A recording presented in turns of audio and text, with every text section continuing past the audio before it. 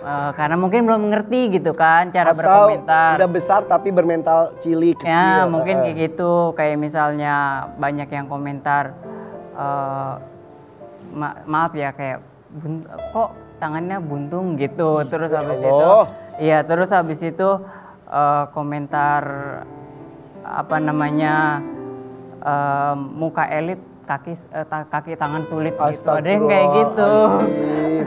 Oh denger gitu atau baca gitu kamu gimana Faisal? Sedih gak? Aku mah nggak pernah sedih, aku biarin aja. Hebat gitu dong, gak usah dengerin orang yang kayak gitu. Hebat banget. Bagus, jadi Faisal gak usah dengerin.